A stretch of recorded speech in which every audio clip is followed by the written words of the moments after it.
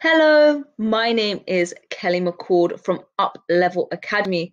In today's training, I'm going to show you how you can up level your GCSE English language grade in less than three months. So, this training is for you if you feel that currently you are not achieving the grade that you desire, that you need, and that truly reflects your abilities, so you feel that you're not getting the grade you deserve. Perhaps you find yourself in class confused constantly. No matter how many questions you ask, you don't seem to get the answers that you require to understand the key concepts. And because of this, you may feel that you're always two steps behind your classmates. And as a result, you're left feeling dismayed, demotivated, and disheartened. So much so that you now despise English. Now, if that's where you are and that's how you feel, then this training is definitely going to help you. And I want you to know that I understand. I completely empathize with you because I felt the same way about maths. I absolutely loathed it.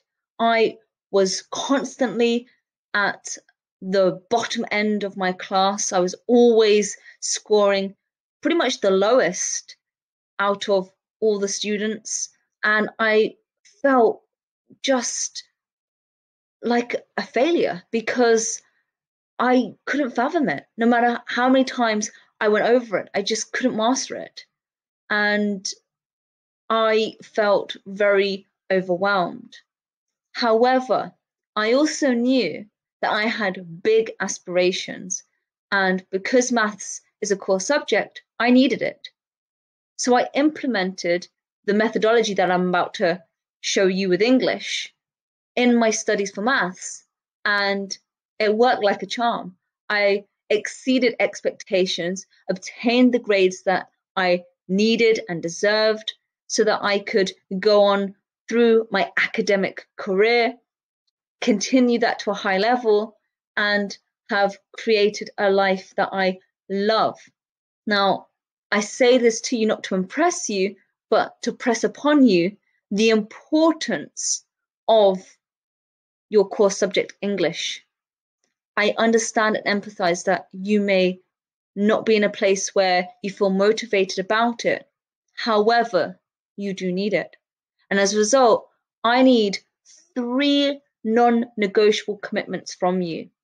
And the reason for that is without them, I won't be able to coach, guide, and educate you in this methodology. I know it'll work for you, but we've all heard the expression you can take a horse to water, but you can't make it drink. So even if I give you your water, as it were, the methodology to help you with your grades in English, unless you adopt, adopt these three non negotiables, it's not going to work. So the first one is I need you to be committed to change. I need you to be open. Why? Well, as Einstein stated, if you continuously do the same actions, you're going to get the same results. In fact, he said that the definition of insanity is repeating the same actions, doing the same thing, and expecting a different result. It's not going to happen. So, unless you're committed to change and to do things differently, your situation won't change for you. The second non negotiable is I need you to take responsibility for your GCSE English language grade. Now, that does not mean blame. Consider this your mobile phone you are responsible for your phone, right? What does that look like? Well, you don't leave it exposed, you put it in its case. You might have a screen protector. You don't leave it laying around, you put it in your pocket or in your bag to keep it safe. If anything happens to it, for example, you accidentally drop it and the screen cracks, you take responsibility by trying to repair it. You might look it up, do some research, take it to an expert. Well, that's what I'm asking you to do with your GCSE English language grade.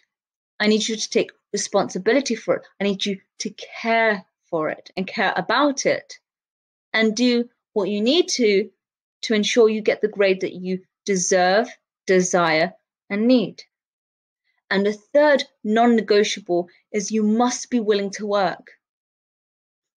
And that means putting in the effort, even if you don't feel like it. Because without that, you won't be able to implement the method.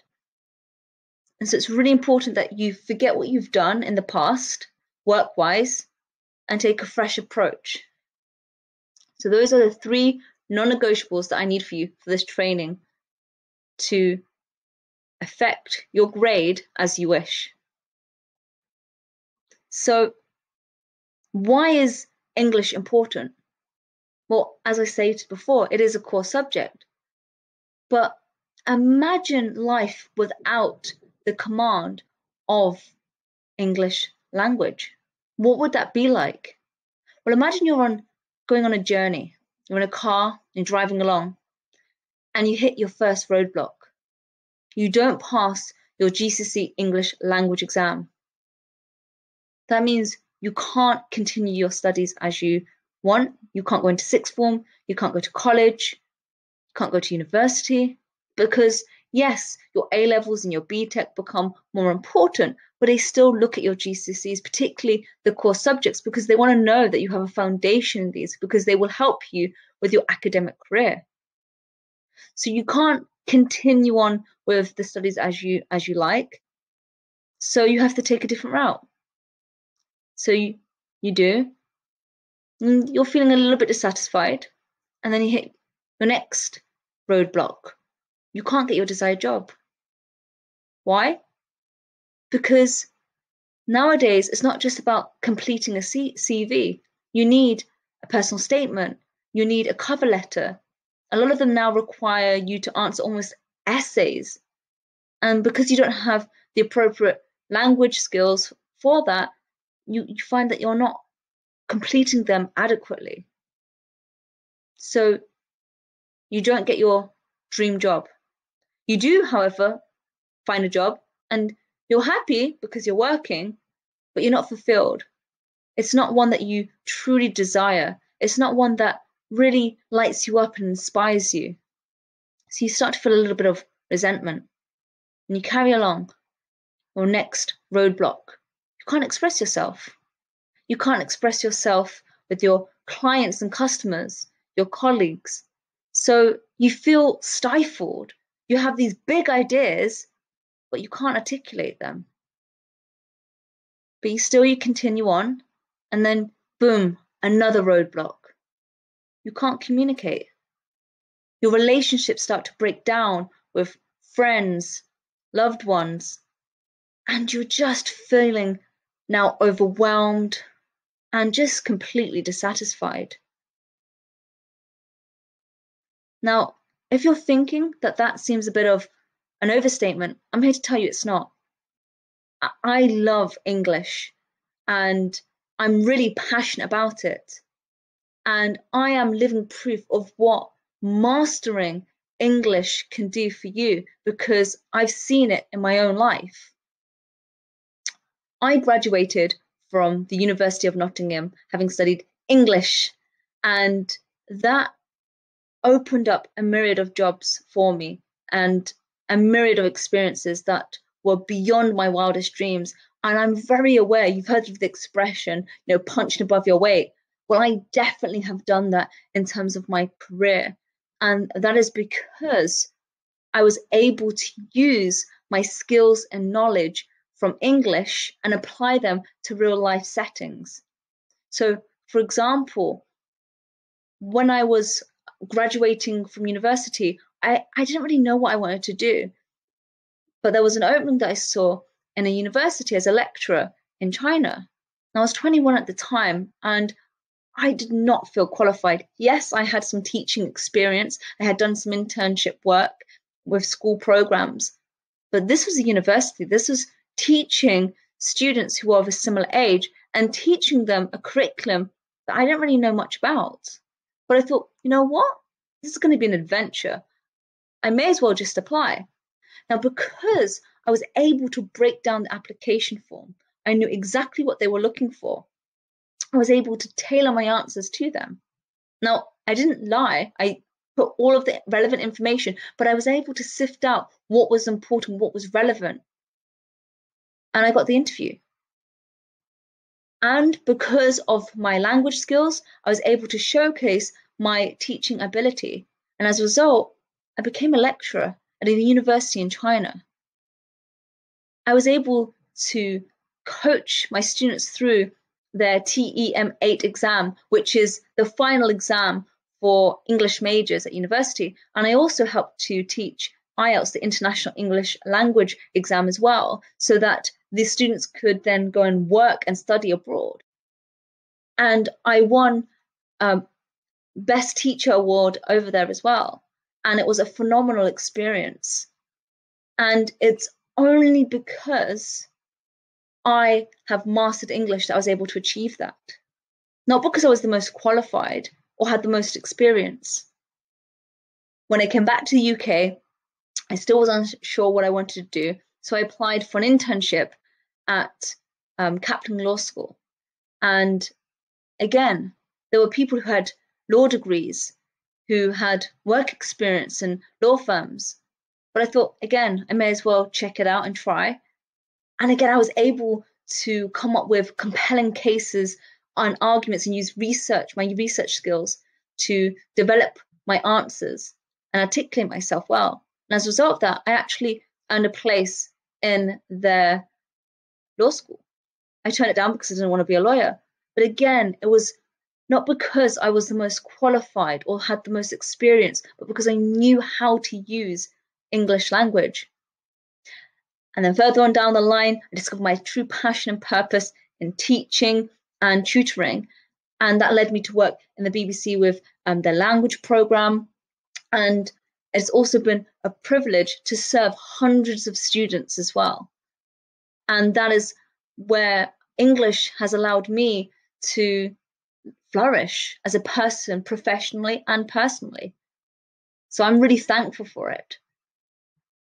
But don't just take my word for it. I know that if you can master your GCSE English language, then you can achieve your wildest dreams.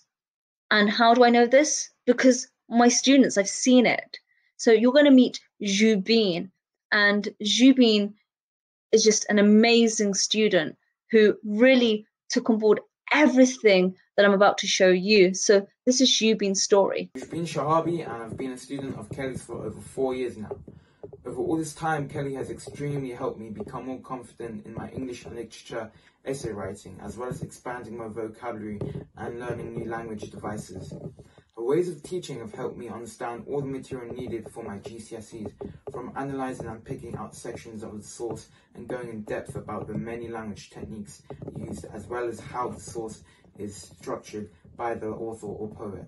She further assisted me by going back to the basics, checking my grammar and spellings.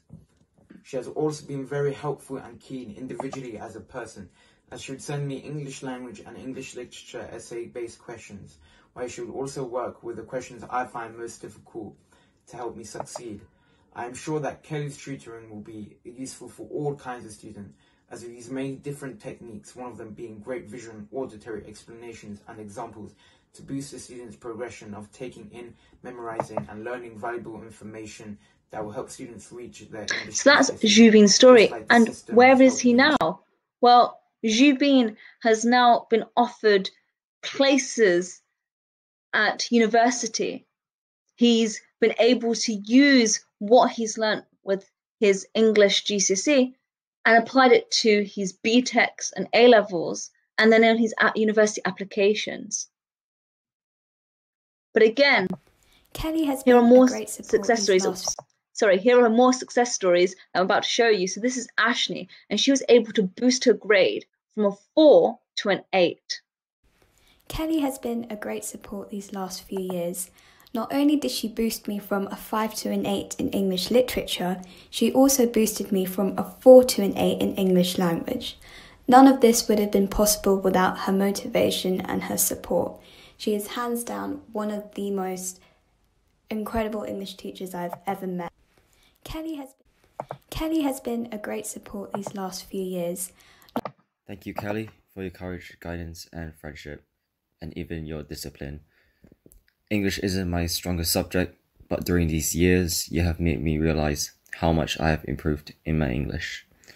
Your precious tips and advice have brought me to grade 3 to a 5 English in English language, which is unbelievable. Can't thank you enough for all your help. With a grade 5, I can pursue my dreams and finally move on. Thank you, Kelly, for your. I started tuition because I wanted extra support in my English studies and wanted to achieve the grades I knew I could get. From tutoring with Kelly, I achieved a newfound confidence and passion for English, as well as an advanced understanding of the English subject, which I managed to exceed my target grade in. What I loved about working with Kelly was how comfortable she made me feel when coming up with new ideas, which was really important in building my self confidence. Thanks to Kelly, I found that I wanted to participate more in class discussions as I was confident in my ideas, which enabled me to take English further at a higher level. Kelly also encouraged me to expand on my thoughts and arguments, which I was able to bring into my exams in sophisticated and original ways, which led me to achieve higher grades to So my question to you is where do you want to be? I promise to show you in this training how you can achieve the grade that you want in your GCSE English language exam. But you must actually take action on what I share. Otherwise, it's what Einstein stated. You'll stop repeating the same actions but expecting different results. It's insane. It's not going to happen. So I promise to show you, but I want you to make a promise to yourself that you're actually going to do something about it if you find it valuable, which I'm sure you will. So, my goals to you, because it's always important to set goals. So, from this training, from watching this, you will know one, why current methods are not working for you. It's really important to understand and reflect like what's not working and why. Because that way, then you will know well what not to do and if you find yourself falling back into those habits because we're creatures of habits and it will happen that you're able to correct it and allow yourself then to move forward two to know what is possible for you with gcse english language so that you feel actually i know that i've been feeling demotivated and i might hate this subject but it's useful it's a useful skill that will not just help me to pass an exam, but I can carry on throughout my whole life. And then three, know the 4E reverse engineering method for success. And then implement that so that, as I say, you can use it to get your desired grade in your exams and beyond. So, first of all, the current system is outdated We've drawn upon in the UK the Victorian model for teaching and learning. And look, has much really changed? I don't think so.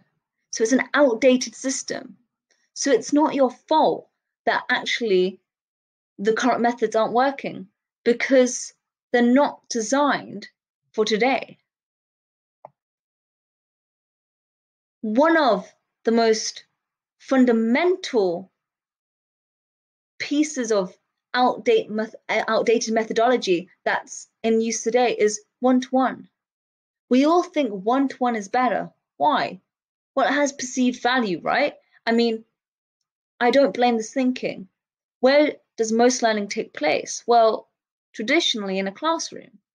You have one teacher talking to many anything between 10 to 30 plus students.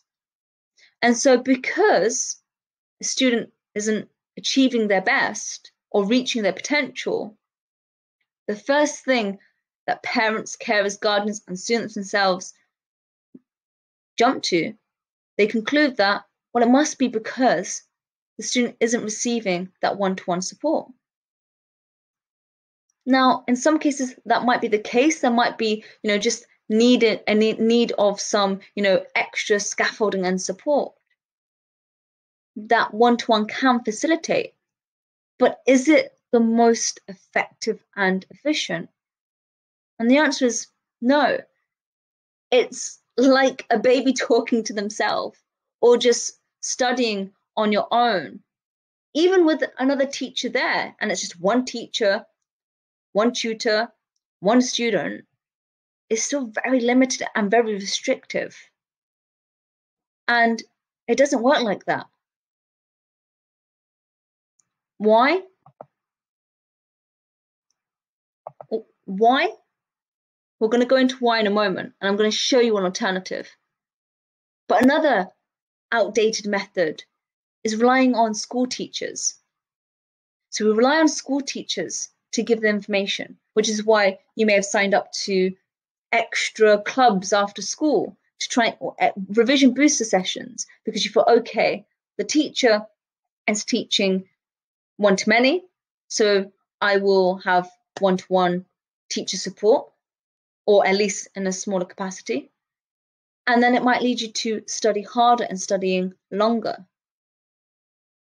And all that leads to is frustration. Why? Because the teacher is already overloaded. They have so many students they have to deal with. On top of that, they have to, you know, answer to other people as well the principal to Ofsted.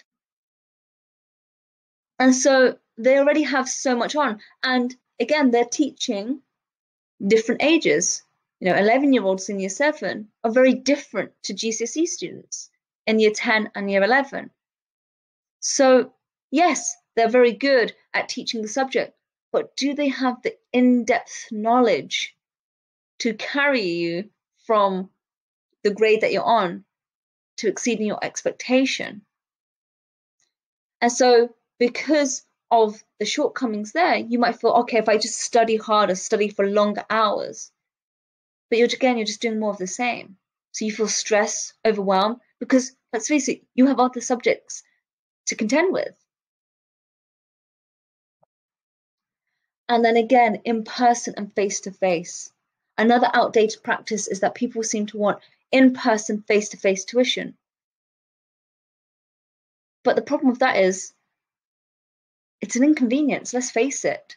If you have to travel to get to the tuition centre or to the tutor's home, then nine times out of ten there's traffic. So you end up being late, which puts you off on the wrong foot going in to the session. Or maybe the, the tutor comes to you. But again, they still have to get to you. And so again, with traffic and transportation issues, they might be late. So again, it sets off the session in a very negative footing. It can be inconvenient because, for example, maybe you've had a last minute change where you're going to a friend's house or you're going to a relative's house, but you need the study session. But you don't want to have to cancel that either. Then what? And obviously with COVID at the moment, it's unsafe to be mixing so much. And ultimately, it's restrictive because, again, if you're having in person, face to face, either at the tutor's home or the tutor's coming to you, or maybe you go to a tuition center, you're still limited in terms of your interactions with the students. So, are you really able to deepen your discussions? And this is where the up-level English language methodology comes into play. You're going to learn how to master your English language using the 4E reverse engineer method. This will help you to move from this outdated methodology into the new that works. So I want you to reverse engineer architect style. Well, what does that mean? It means you work backwards. Think about building a house. You don't just start by, you know, building the foundation or building a wall. You start with the end goal, which means that you design it. And you will collaborate with other people who are specialists so that you can come up with a design that is not only aesthetically pleasing that you absolutely love, but is has integrity structurally so that it's actually going to you know withstand the test of time withstand you know the environmental impact winds and rain. So you start off with the end and goal and then you work backwards. You break it down into its components. And you have a checklist to make sure that each part is working and functioning for the whole for the end goal. And that's what we're going to do with your english language exam. So what's possible then with the up levels for our reverse engineering system? You will understand and know what's happening. Many students, when you ask them, what exam board are you studying? What are the style of questions? They don't know. They just kind of muddle, muddle the way through it.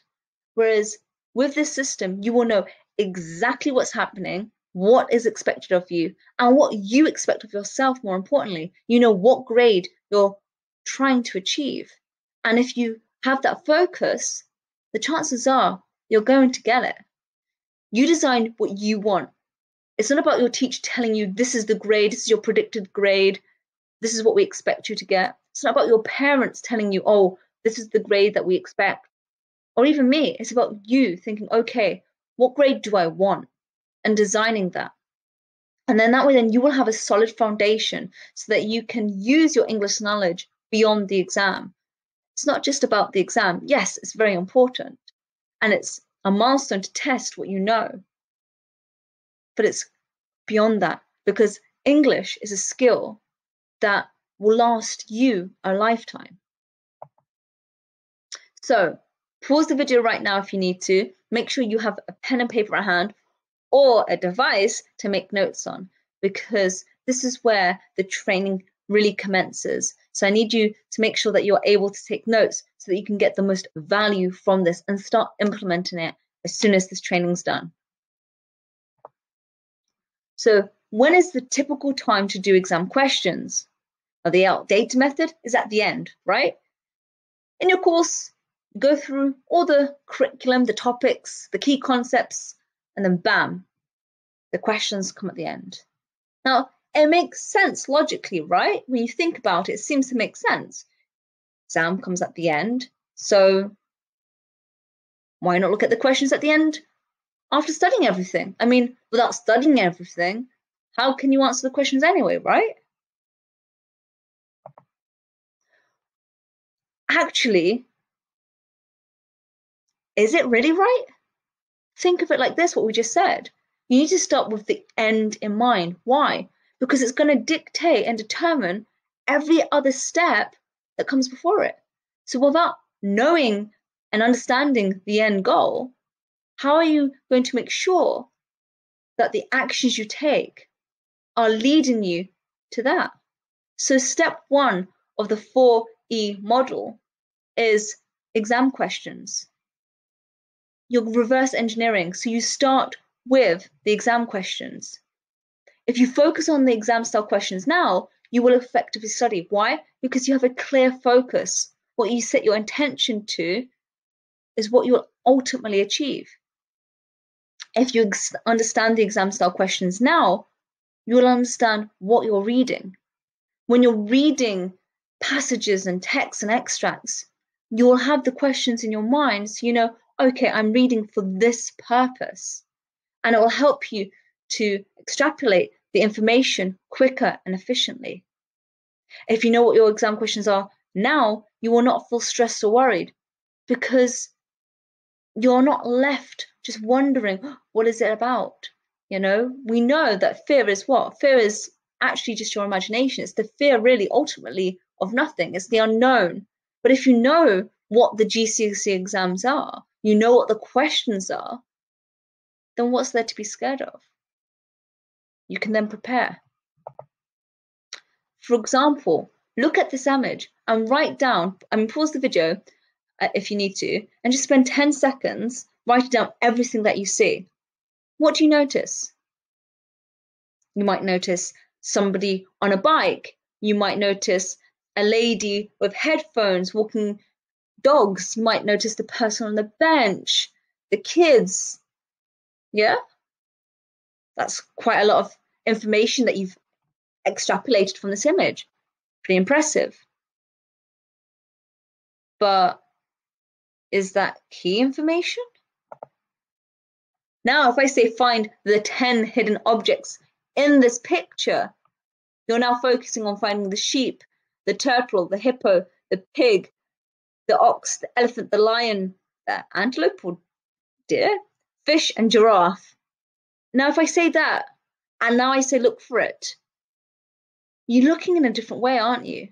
You're not just glancing over it and looking at what you know stands out for you. You're looking with that in mind. Okay, I need to find the sheep. I need to find. And what's interesting is, did you notice these 10 hidden um, animals before?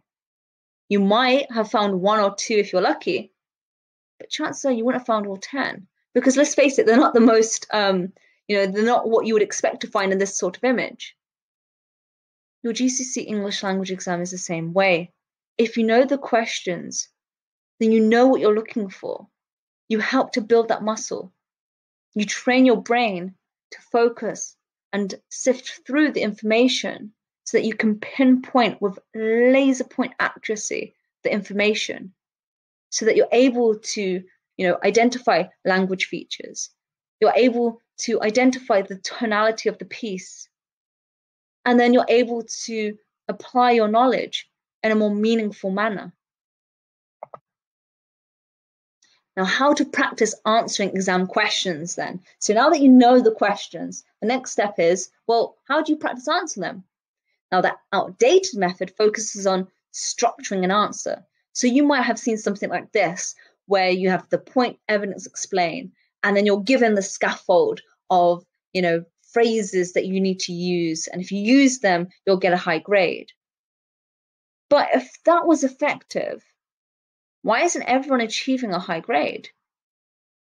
It lacks personality panache and a personal touch that examiners want you know you've probably if you've looked at the marking criteria and if you haven't i strongly urge that you do you know it says a student's personal response. What does that even mean? I mean, it's subjective, right? Are you going to get it through this rigid structural approach? No. On top of that, sometimes because of the text, you might feel, well, actually, I can't even apply this structure to it. Because you've been tightly restrained with it, you don't know how to apply it which is why you're feeling of distress and even dismay because you're promised that this will work and it doesn't. So the next E is step two of our 4E model is to expand your vocabulary.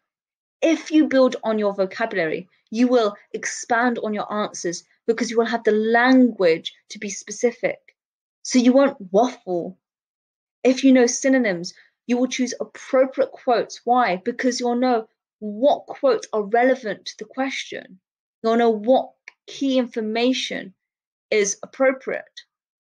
And you won't be put off then by unfamiliar words because even if there are words that you're not too sure of, you'll have some vague understanding. You'll know how to work it out using your extensive vocabulary knowledge.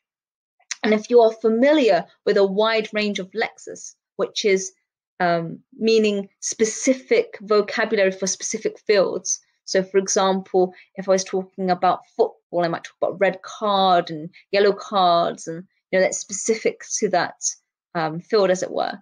You will then understand different perspectives better. Why? Because you'll understand. Well, actually, maybe this person is passionate about this, or they're a professional in this. So it'll help you to be more insightful with your analysis. And let me give you an example. This is George Vest's eulogy of the dog. And it was a speech he gave in court. Um, he's an American senator. Um, and highly recommend you looking up this speech. It's one of my favorites. I am a dog lover. And he says, The best friend a man has in the world may turn against him and become his enemy. His son or daughter, whom he has reared with love and care, may prove ungrateful. Those who are nearest and dearest to us, those whom we trust with our happiness and our good name, may become traitors to their faith. Now, analysis. Overall, the speaker seems to revere the dog as he uses dichotomous lexis to illustrate the loyalty of the dog against the betrayal of humans. Hence, the best friend becomes his enemy. The son or daughter may prove ungrateful. The use of abstract nouns emphasizes the emotion behind the words, which adds to the pathos of the speech. Can you see my specific vocabulary actually allows me to go deep in my analysis? Analysis. It's not just waffly, vague statements. It's applicable to this text. And that's what an expansive vocabulary will allow you to do too. And then the next step is how to analyze a text. Now, the outdated method asks you to repetitiously look at extracts. So you go over extracts and you might pick out things such as use of adjectives, and emotive language, abstract nouns. Now, I'm not saying that's bad, that's good. It's great to be able to pinpoint them. But that's not going to help you to pass your exam. It won't help you later on in life. There's no understanding. It's just repetitious an- analysis, which leads to repetitious answers. And it reminds me of Einstein's point if you keep repeating the same actions, you're going to get the same result. So it's unsurprising then that this method doesn't work. Which is why step three of the 4E method is expressive writing. It's important that you practice your expressive writing. If you practice writing creatively for different genres and modes, you will deepen your analytical skills because you know why a writers use them. You have a deeper appreciation of the writing techniques. If you practice writing imaginatively, you will personally engage with extracts because you will have more of an understanding and more of a personal feeling about them. And if you practice creative writing, you'll have insights into different perspectives. Again, you'll think about the different angles, the different points of view, which will allow you ultimately then, when analyzing a text, to be richer in your approach. For example, these are just excerpts from um, students that I've worked with. So this one was a story about the death penalty. Forcefully, yet carefully, they strap his knobbly ankles to the squat oak legs of the electric chair. Although he is very much alive, with his warm blood cascading around his veins, arteries, and capillaries, like a stream on its journey to the seas and oceans, it seems futile at this very moment.